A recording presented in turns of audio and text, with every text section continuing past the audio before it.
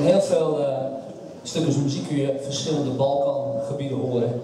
Het volgende is een samenstel van allerlei verschillende melodieën uit de verschillende regio's van Oost-Europa. Roemeens, Grieks, Bulgaars. Het heet dan ook Liedje uit Nergens Huizen, oftewel Boy Brikkel Dreelach.